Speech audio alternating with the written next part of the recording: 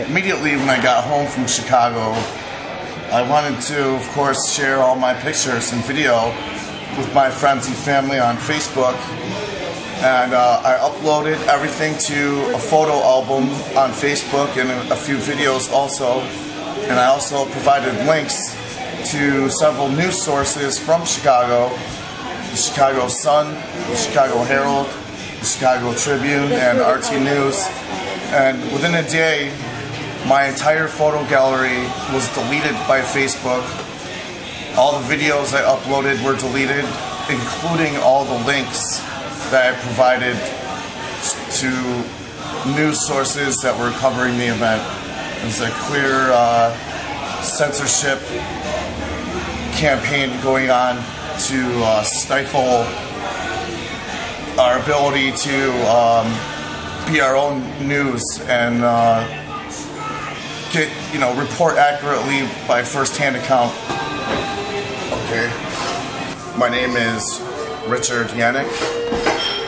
Uh, me and my comrade Jake here decided to uh, drive out to Chicago last week was the last weekend last weekend to uh, take part in the uh, NATO G8 summit protest. We got in we got into Chicago Saturday night, and um, first thing that we noticed was there were about 15 to 20 riot police officers, riot gear police with uh, solid hickory or solid oak uh, sticks standing around just about every single street corner. And uh, we could tell that we were seriously outnumbered. As far as police to protesters, it was about maybe three to one. Um, the police were, for the most part, extremely rude to pedestrians, um, even who weren't protesting. Um, I was walking around taking pictures and I received several derogatory comments from them. Um, the next day we, we rallied up at the park and about, I would say, 100,000 people came through. We, uh, the media has downplayed that very much, the, the actual numbers. And from there, we uh, took to the march, which was great. It was amazing. I mean, there was a lot of uh, good energy a lot of people, a lot of different groups coming together. I mean, I felt pretty, we felt pretty united and uh, for our cause. It was very peaceful. I didn't see any problems with behavior as far as on the protesters whatsoever. We marched just all day long, and uh, it was a good maybe three mile march. Um, when we, we got to a point where it came to a standstill, and we, everyone was just listening to um, the veterans giving their speeches. And uh, at one point, I looked behind me and uh, noticed that the front line, the front phalanx line of riot police was at the intersection right, right behind us. And um, a lot of people were kind of in disbelief that uh, that they were gonna do anything. And the very minute the permit expired, they came running up on us, uh, we, and we had nowhere to go. Uh, we were fenced in on both sides. There was fencing blocking the sidewalks, and so um, we had to climb over the fence in a, in a panic rush to get out of their way. They occupied the street pretty heavily. Um, there were thousands, thousands of riot police. Um, and we kind of just stood there peacefully on the sidewalk observing what was going on. And then the fire department moved in and uh, they were standing there and then dropped to their knees in a panic, rushed into their backpacks, ripped out the gas masks and put those on and uh, they had big giant tanks of, of what I believe to be tear gas uh, which they did spray on us. They not anybody directly, just putting it into the air. It was a good amount. Uh, I put on my military grade gas mask to protect myself. Um, and about a block in front of us, there were people who decided that they were going to create a human blockade to protect the other people who were stand, still standing around in front of them because the police just rushed in without a warning. And uh, those people were severely injured. Um, they were jabbed. Not, they weren't swung at with the batons. They were jabbed, you know, like that um, right in the face mostly. A lot of people I saw with missing teeth. And uh, we noticed that they specifically targeted young females. Um, we saw several younger, smaller built females being dragged out by um, street medics with crushed skulls and just their entire face and head was covered in blood.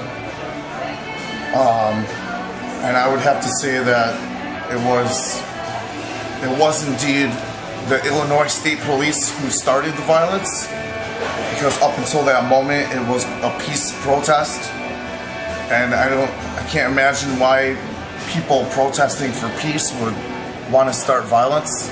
It's kind of against what we're doing and uh, they they instigated this whole thing. They um, it was uncalled for. It was completely unnecessary.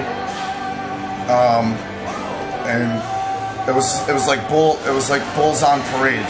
They just came rushing in and started swinging and jabbing without asking questions or without making any demands for people to move or to disperse. And then maybe 15 minutes later, there was an announcement over a PA system that we are to disperse immediately and we are to disperse west.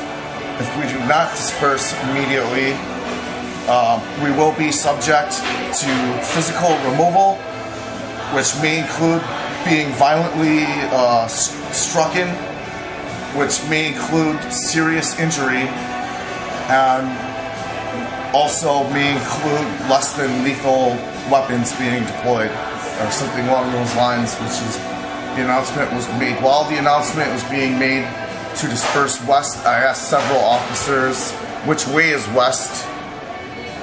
With absolutely no reply. The next day, after all that, uh, we organized we organized uh, a, a, march without a permit, illegally an illegal march, I guess you would say, and um, we rallied in a park beforehand and made plans of how and what we were going to do. We were going to march to Boeing and shut down Boeing, which uh, they had already heard about what we were doing and shut themselves down. Um, as we began the march, we immediately took the street, and um, Chicago police officers were there promptly escorting us, even though we did not have a permit. They were on both sides in single file in trench coats. And uh, we eventually got to a point where there was a blockade in the street with officers with bikes and um, a few layers deep of uh, riot police, and we marched right up to the line and sought out the uh, chief or captain. He was wearing a, a white shirt, and uh, we told we we tried to reason with the officer, saying, you know, please comply with us, and we'll comply with you. Be reasonable with us, we'll be reasonable um, work with us, we'll work with you, etc. And to please disperse so that we can continue our march. And we want to, we made it very clear that we wanted to go right through their blockade where they were and that we didn't want any violence and we didn't want any trouble. Surprisingly, um, he got on his walkie-talkie and made the call for them to disperse and they did. And uh, we continued the march illegally without a permit all the way to Boeing. Uh, Boeing was shut down. Um, we did a die-in right there on the street, which was pretty fun. People, we all like dropped dead after a few people pretended to be drones that are manufactured by Boeing. Uh, chalk outlines were made on the street, um, and then we rose up and had a party with uh, glitter and silly string and whatnot And then we continued our march to a Chase Bank, and where we uh, we all sat down in front of Chase Bank, and uh, people spoke about being evicted from their homes fraudulently because of Chase Bank. Um, and then we made our way to um, Obama's uh, campaign headquarters, where we were met by the Illinois State Police in full riot gear. Um, when we got there, we marched right to the front line of the Illinois State Police, and then all sat down Indian style. We had the attention of the media, and uh, we all sat down Indian style so that it would be very clear if uh, violence were to break out exactly who was uh, the offensive, who was the instigator in the situation. Uh, on that day, there was not, during our illegal march without a permit, there was not a single arrest, and there was not a single injury that day. The permitted march was that was supposed to be family friendly uh, was completely legal and it, it, and we shouldn't even need a permit in the first place because it's within our civil liberties to do so. But it, it ended up not being family friendly. It was it ended very violently. It was a, literally a bloodbath.